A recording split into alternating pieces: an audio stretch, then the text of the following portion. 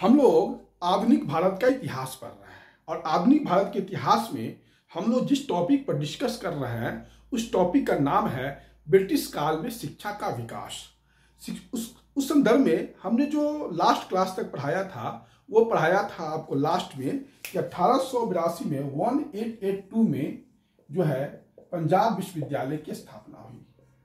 और 1887 में जो है आपका इलाहाबाद विश्वविद्यालय का स्थापना हुआ। यहाँ तक मैं आपको पढ़ा चुका अब मैं आपको पढ़ाऊँगा उन्नीसवीं बीसवीं शताब्दी। अब मैं बीसवीं शताब्दी में जो ब्रिटिश काल में शिक्षा का विकास हुआ, मेरे कहने का अर्थ है कि 1900 से लेके उन्नीस तक का मैं आपको ब्रिटिश काल में शिक्षा का जो विकास हुआ, वो बताऊँगा। इसी समय लॉर्ड कॉर्जन जो है भारत का वायसराय बनकर आया और कर्जन जो था, वह एक प्रतिक्रियावादी सोच का व्यक्ति था।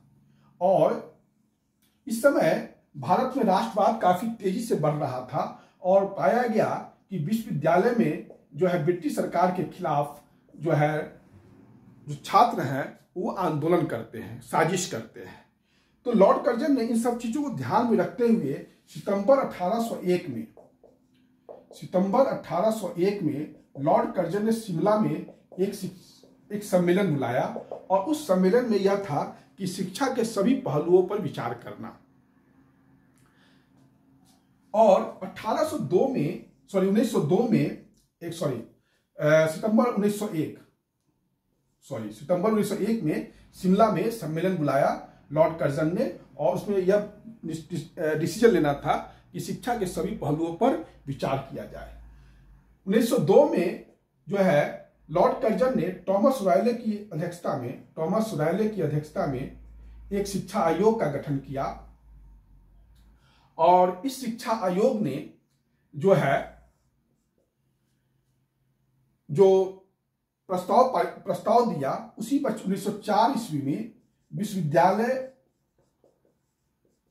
अधिनियम लाया गया। 1904 का विश्वविद्यालय अधिनियम कर्जन ने पारित किया।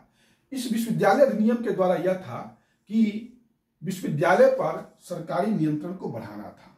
विश्वविद्यालय पर सरकारी नियंत्रण को बढ़ाना था। यही कर्जन के समय में शिक्षा पर जो थोड़ी सी जो इंप्रूवमेंट हुआ यही लास्ट में कि सर, सरकारी शिक्षा पर नियंत्रण बढ़ाया जाए। फिरोज गोपाल कृष्ण गोखले ने गोपाल कृष्ण गोखले ने जो है 1904 के विश्वविद्यालय अधिनियम का आलोचना करते हुए इसे एक राष्ट्रीय शिक्षा के, का प्रतिगामी कदम बताया। राष्ट्रीय शिक्षा के विकास में प्रतिगामी कदम गोपाल कृष्ण गोखले ने बताया। यह हुआ आपका उन्नीस कर्जन के समय में, क्या हुआ उसके संदर्भ में बात।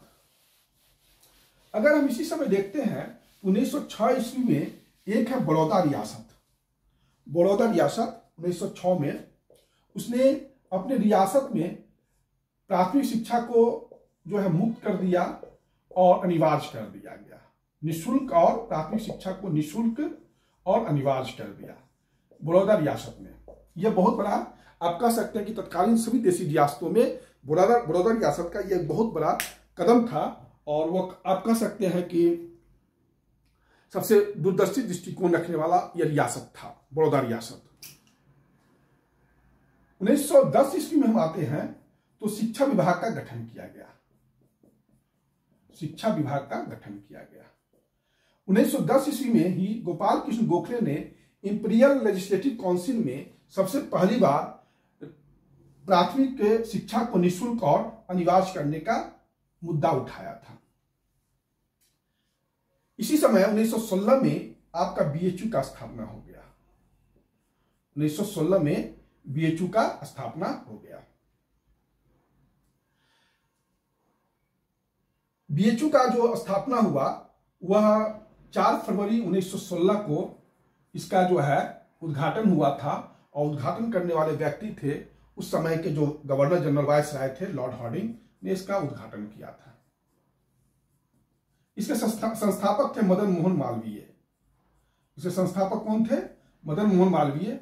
और मदन मोहन मालवीय इसके पहले जो है, कह सकते हैं कि कुलपति भी थे, जो 1916 से लेकर उन्नीस सौ उनचालीस तक इसके, थर्टी नाइन तक इसके कुलपति रहे हैं। और यहाँ पर बीएचयू में, बनारस हिंदू यूनिवर्सिटी में यहाँ पर धार्मिक शिक्षा भी दी जाती थी। यहाँ पर धार्मिक शिक्षा भी दी जाती थी। यह हुआ 1916 में। फिर इसी समय 1917 में एक सेटलर आयोग का गठन किया गया। सेटलर आयोग का गठन का मुख्य उद्देश्य यही था कि कलकत्ता विश्वविद्यालय की स्थिति पर विचार करना। कलकत्ता विश्वविद्यालय की स्थिति पर विचार करना। इस आयोग में मिस्टर सैडलर थे, जो इंग्लैंड के लीड्स यूनिवर्सिटी के वाइस चांसलर थे। और इसमें दो भारतीय थे, एक थे आशुतोष मुखर्जी, एक थे आशुतोष मुखर्जी और एक थे जियाउद्दीन अहमद। दो भारतीय थे इसमें। 1917 में ब्रिटिश सरकार ने सैडलर आयोग का गठन किया था और गठन करने का उद्देश्य यह था कि कलकत्ता विश्वविद्यालय की स्थितियों पर विचार किया जाए। कलकत्ता विश्वविद्यालय की स्थितियों पर जब विचार किया गया तो उसके विचार के लिए जो सैडलर थे, जो लीड्स यूनिवर्सिटी के वाइस चांसलर थे और इसमें दो भारतीय थे, आशुतोष मुखर्जी और जियाउद्दीन अहमद। इस आयोग ने जो अपना रिपोर्ट सौंपा, वह यह था कि ten plus two plus three शिक्षा को इसी ने भारत में इंट्रोड्यूस किया।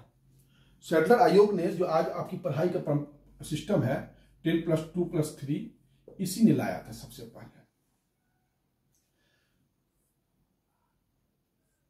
और कलकत्ता विश्वविद्यालय पहले भारत सरकार के अंतर्गत था, उसको कर दिया गया बंगाल सरकार के अंतर्गत। ये सबसे बड़ा इसमें यह बात हुआ। इंपॉर्टेंट चीज़ है कि कलकत्ता यूनिवर्सिटी पहले भारत सरकार के अंतर्गत था, उसको कर दिया गया बंगाल सरकार के अंतर्गत। 1917 में ही आप देखिएगा पटना विश्वविद्यालय का स्थापना हुआ। पटना विश्वविद्यालय का स्थापना भी 1917 में हो गया। 1918 में आप देखिएगा तो उस्मानिया विश्वविद्यालय का स्थापना हुआ। उस्मानिया विश्वविद्यालय का स्थापना हुआ। 1920 में शांति निकेतन बोलपुर में रविन्द्रनाथ टैगोर ने किया स्थापना। शांति निकेतन विश्वविद्यालय की स्थापना पश्चिमी बंगाल में बोलपुर जिला में हुआ था। बोलपुर जगह है, मिदनापुर में है और करने वाले थे रविन्द्रनाथ टैगोर शांति निकेतन विश्वविद्यालय का। अच्छा एक चीज़ याद रखिएगा, भारत का पहला केंद्रीय विश्वविद्यालय सेंट्रल यूनिवर्सिटी बीएचयू ही है, बनारस हिंदू यूनिवर्सिटी ही है। 1920 में स्थापित हुआ था और 1921 में जो है, आपका तीन यूनिवर्सिटी का स्थापना हुआ था, ढाका, लखनऊ और अलीगढ़ यूनिवर्सिटी। ये तीन यूनिवर्सिटी का स्थापना हुआ था। 1922 में आपका स्थापना हुआ था दिल्ली विश्वविद्यालय का।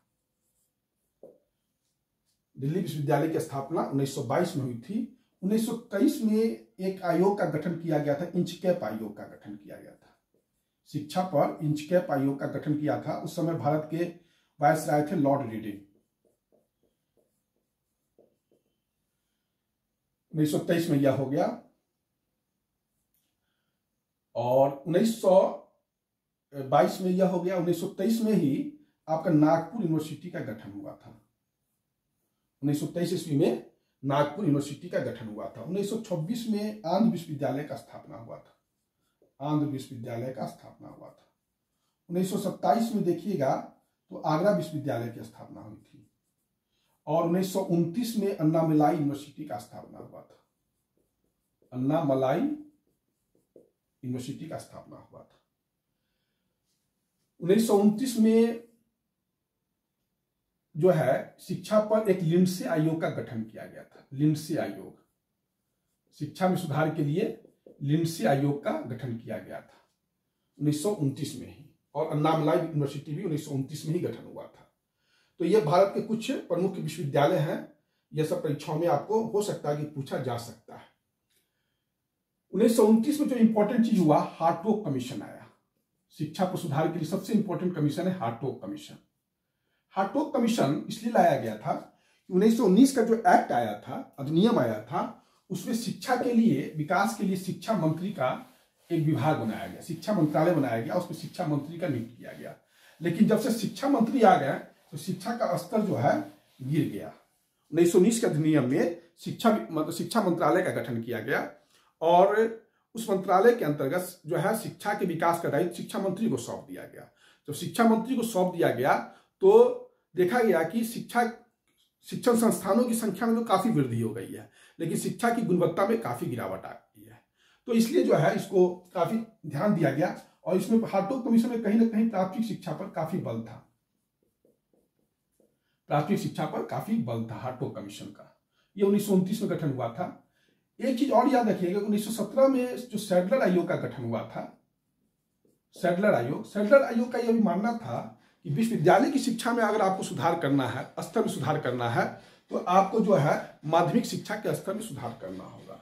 और हार्टोक कमीशन ने यह माना कि भारत में जो है शिक्षण संस्थानों की संख्या तो काफ़ी बढ़ गई है, लेकिन शिक्षा की गुणवत्ता काफ़ी गिर गई है। यह हार्टोक कमीशन का मानना था।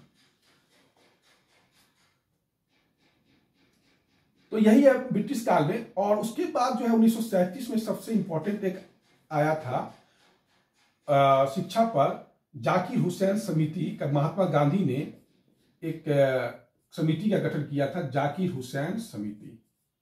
और ये जाकिर हुसैन समिति ने जो है इसको वर्धा योजना भी कहा जाता है। और ये महात्मा गांधी के कहने पर जाकिर हुसैन ने प्रस्तुत किया था।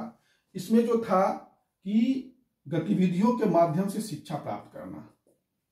गतिविधियों के माध्यम से शिक्षा प्राप्त करना और कहीं ना कहीं व्यवसायिक शिक्षा पर बल देता है।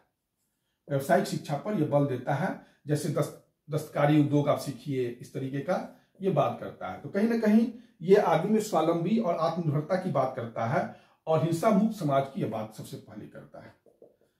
मतलब स्वावलंबी समाज हो, समाज जो है आत्मनिर्भर हो यह वर्धा योजना का मुख्य टारगेट यही था। और हस्तशिल्प के माध्यम लोगों को हुनर सिखाना हस्तशिल्प सिखाना कि लोग जीविका के लिए कहीं और डिपेंडेंट नहीं हो। तो यह हो गया वर्धा योजना का।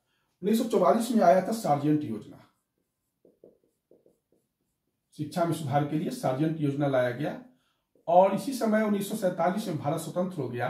15 अगस्त उन्नीस को जब भारत स्वतंत्र हुआ तो पाया गया कि भारत में 25 विश्वविद्यालय हैं। भारत में कितने विश्वविद्यालय हैं? 25 विश्वविद्यालय हैं और 643 कॉलेज हैं। 643 कॉलेज हैं। 25 यूनिवर्सिटी है जब भारत स्वतंत्र हो रहा था तो, तो 25 यूनिवर्सिटी था और 643 कॉलेज था। यह तो हुआ भारत में जो विश्वविद्यालय शिक्षा की बात। अब हम थोड़ा सा तकनीकी शिक्षा पर देख लेते हैं कि भारत में क्या विकास किया गया। अंग्रेज़ों ने तकनीकी शिक्षा पर क्या विकास किया। तो अंग्रेज़ों ने तकनीकी शिक्षा पर जो सबसे पहला विकास किया और लॉर्ड विलियम बेंटिक ने अठारह सौ पैंतीस ईस्वी में जो है, वो सबसे पहला इंपॉर्टेंट काम की कलकत्ता मेडिकल कॉलेज का स्थापना किया। अठारह ईस्वी में लॉर्ड विलियम बेंटिक ने कलकत्ता विश्वविद्यालय का सॉरी कलकत्ता मेडिकल कॉलेज का स्थापना किया। Calcutta medical college. 1847 में उत्तराखंड में एक जगह रुड़की रुड़की का इंजीनियरिंग कॉलेज का स्थापना किया। यह भारत का सबसे पुराना इंजीनियरिंग कॉलेज है रुड़की इंजीनियरिंग कॉलेज 1847 में रुड़की इंजीनियरिंग कॉलेज का स्थापना हुआ। आजकल यह आईआईटी के अंतर्गत आ गया है। और यहाँ पर एक अच्छी पढ़ाई होती है, जो मकान का, जो आर्किटेक्चर वगैरह का जो पढ़ाई होता है, वह बहुत ही बेस्ट पढ़ाई होता है। और खैर, इस सब पर हम चर्चा नहीं करेंगे ज़्यादा डेप्थ में, क्योंकि ये इंजीनियर का डिपार्टमेंट है। और अठारह ईस्वी में कलकत्ता इंजीनियरिंग कॉलेज का स्थापना किया गया। कलकत्ता इंजीनियरिंग कॉलेज की स्थापना भी जो है अठारह सौ छप्पन में किया गया था। और और पूना में भी इंजीनियरिंग कॉलेज की स्थापना अठारह सौ छप्पन में किया गया था। अठारह सौ छप्पन में ही बिहार में एक जगह है, पूसा, समस्तीपुर के पास, पूसा। तो वहाँ पर जो है, एक एग्रीकल्चर कॉलेज खोला गया, कृषि कॉलेज खोला गया और वह जो कॉलेज है, जब भारत स्वतंत्र हुआ तो वह चला गया दिल्ली, जो आपका Indian council of agriculture research है, जो पूसा रोड में है वह बिहार के ही समस्तीपुर में जो पूसा जगह है, उसी के नाम पर पूसा रोड रखा गया है। तो वही ट्रांसफ़र भारत की स्वतंत्रता के बाद हो गया था। तो भारत में कुल मिला तकनीकी शिक्षा यही थी। नाम मात्र का और यह सीमित था, सीमित उद्देश्यों के लिए था। खैर, यह सब तो हो गया। लेकिन जो ब्रिटिश शिक्षा नीति थी, क्या वो अपने उद्देश्यों में पूरा हो सकी? क्या क्या उसका उद्देश्य था? तो सबसे पहले अधोमुखी निसंधन का जो सिद्धांत था वह उसने भारत में जन शिक्षा को हतोत्साहित कर दिया। जन शिक्षा को हतोत्साहित कर दिया। भारत में कुल मिला के बारह प्रतिशत जो है, साक्षरता दर था जब भारत स्वतंत्र हुआ, और आठ परसेंट महिला साक्षरता थी। तो ये स्थिति था। महिलाओं को शिक्षा से इसलिए वंचित किया गया कि देखा गया कि चूँकि अंग्रेज़ों का जो उद्देश्य यह था कि भारत में एक ऐसा क्लर्क वर्ग तैयार करना तो महिला जो है क्लर्क तो बनना उस समय उस समय की महिला क्लर्क तो बनना नहीं चाहेगी। अब तो खैर चाहती है कि क्लर्क क्या तो कोई भी प्रकार क्वीन भी बनने के लिए तैयार है, लेकिन उस समय की महिलाएँ क्लर्क की नौकरी करना नहीं पसंद करती थी तो अंग्रेज़ शिक्षा भी इनको नहीं देते थे महिलाओं को। तो ये चीज़ हो गया। इसमें शोध और अनुसंधान का कुछ नहीं महत्व था। अंग्रेज़ों ने कोई शोध पर काम नहीं किया, न अनुसंधान पर काम किया। और शिक्षा जो थी, वह एक तरह से कह सकते हैं कि ज्ञान का व्याख्या करने का अधिकार जो है, औपनिवेशिक सरकार ने ही ले लिया। और भारत जो है, भारतीय, भारत के जो लोग थे, वो सिर्फ़ नकल करते थे। भारत के लोग क्या करते थे? वो नकल करते थे। तो यह हो गया जो ब्रिटिश शिक्षा के जो उद्देश्य में लग रहा है कि यह काफ़ी, मैकाले का यह कहना था कि हमें भारत में एक ऐसा नस्ल चाहिए, जो देखने में तो भारतीय हो, लेकिन विचारधारा के स्तर पर जो है वह अंग्रेज़ लेकिन शिक्षा नीति से क्या फ़ायदा हुआ? इस शिक्षा नीति से सबसे बड़ा पहला फ़ायदा यह हुआ कि जो भारतीय राष्ट्रीय स्वतंत्रता आंदोलन का नेतृत्व अगर किसी ने किया तो यही पढ़े लिखे वर्गों ने किया। राष्ट्रीय स्वतंत्रता आंदोलन का नेतृत्व जो है, यही पढ़े लिखे वर्गों ने किया। दूसरा फ़ायदा यह हुआ कि भारत में एक शिक्षित मध्य वर्ग का जन्म हुआ। तीसरा फ़ायदा हुआ कि यह पढ़े लिखे लोग पत्रकारिता जैसे व्यवसायों में, डॉक्टर जैसे व्यवसायों में आगे आ गए। चौथा फ़ायदा यह हुआ कि इन्होंने औपनिवेशिक अर्थतंत्र का व्याख्या किया और भारत के धन के शोषण का एक क्रमबद्ध व्याख्या किया। तो कुल मिलाकर हम देखते हैं कि इसका सीमित सकारात्मक प्रभाव पड़ा ब्रिटिश शिक्षा नीति का और अधिकांश जो प्रभाव था वो गलत था। और यही कारण था कि भारत में जो अंग्रेज़ों ने शिक्षा दिया, वह शिक्षित वर्ग और उस समय के भारतीय वर्ग में जो गैप था, वही गैप जो है, भारत की स्वतंत्रता के बाद भी बढ़ गया और वह हमें आज भारत और इंडिया के रूप में दिखाई पड़ता है। कहीं ना कहीं जो भारत में आज अंतर है जो गैप है, ज्ञान के बीच में, भारत और इंडिया के बीच में, वो गैप जो है अंग्रेज़ों का ही दिया हुआ है। और दुर्भाग्य से यह बात भी रहा कि बाद की सरकारों ने भी, स्वतंत्रता के बाद जो हमारे, अपने राष्ट्रीय सरकार थे, उन लोगों ने भी कोई ऐसा दूरदर्शी कदम नहीं उठाया कि शिक्षा के गैप को कम किया जा सके, शिक्षा के स्तर को गैप को कम किया जा सके। और आज भी आप देखिए तो शिक्षा में जो है, सरकारी स्कूल ध्वस्त हो रहे हैं और प्राइवेट स्कूल जो है, बजारीकरण के नाम पर जो है, जो भी कर रहे हैं वो सब आप समझते ही हैं, आगे मैं क्या बोलूँ। यही हो गया ब्रिटिश शिक्षा नीति। अब थोड़ा सा ब्रिटिश शिक्षा नीति पर हम कुछ और क्वेश्चंस डिस्कस डिस्कस कर देते हैं, जो कि ज़रूरत है।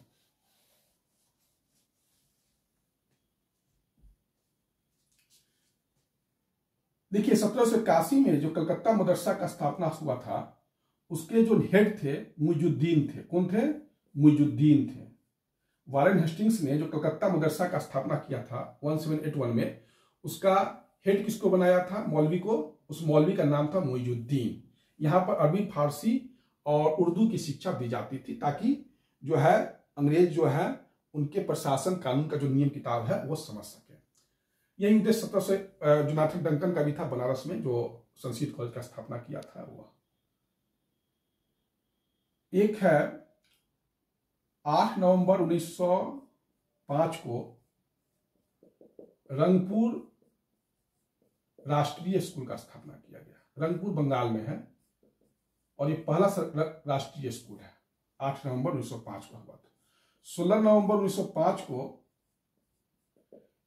यह निर्णय लिया गया कि भारत में प्राथमिक तकनीकी साहित्यक वैज्ञानिक, सभी प्रकार की शिक्षाओं के विकास के लिए एक राष्ट्रीय शिक्षा परिषद का गठन किया जाएगा। यह डिसीज़न हुआ 16 नवंबर 1905 को और 15 अगस्त 1905 को जो है छ को राष्ट्रीय शिक्षा परिषद का गठन किया गया। राष्ट्रीय शिक्षा परिषद का गठन किया गया। 15 अगस्त 1906 को राष्ट्रीय शिक्षा परिषद का गठन किया गया। यह हो गया। उसके बाद माइकल मधुसूदन दत्त थे माइकल मधुसूदन दत्त थे ये माइकल मधुसूदन दत्त जो थे, पेरिस में 1822 ईस्वी में एक एशियाटिक सोसाइटी ऑफ़ फ्रांस की स्थापना की गई थी। एशियाटिक सोसाइटी ऑफ़ फ्रांस की स्थापना की गई थी। तो माइकल मधुसूदन दत्त को उसका जो है, एक सदस्य बनाया गया था। पेरिस एशियाटिक सोसाइटी का जो है माइकल मधुसूदन दत्त को मानद सदस्य बनाया गया था। उसके बाद जो इंपॉर्टेंट है, वह यह है तो यह सब जो है, कुछ हाँ एक पुस्तक है संस्कृत व्याकरण, पर पहला अंग्रेज़ किताब लिखने वाले हैं, उनका नाम है हॉलहेड। हॉलहेड पहले भारतीय अंग्रेज़ थे, जिन्होंने संस्कृत पर एक संस्कृत व्याकरण किताब लिखा, वन सेवन सेवन नाइन में लिखा था। बाकी चर्चाएँ मैं कर चुका हूँ आपको अर्लियर वीडियो में, वो फिर से रिपोर्टेशन करना ठीक नहीं रहेगा। तो यही है आपका ब्रिटिश शिक्षा नीति के बारे में कुछ इम्पोर्टेंट जानकारी। उम्मीद है कि आपको इसके, जितना मैं बता रहा हूँ, उसके अन्यत्र पढ़ने की कोई आवश्यकता नहीं है। और मेरे वीडियो को अगर आप ठीक से सुनेंगे तो प्रारंभिक मुक्त परीक्षा इंटरव्यू तक के लिए, निबंध के लिए भी बहुत ही उपयोगी है। इसी के साथ मैं ये वीडियो समाप्त कर रहा हूँ। धन्यवाद।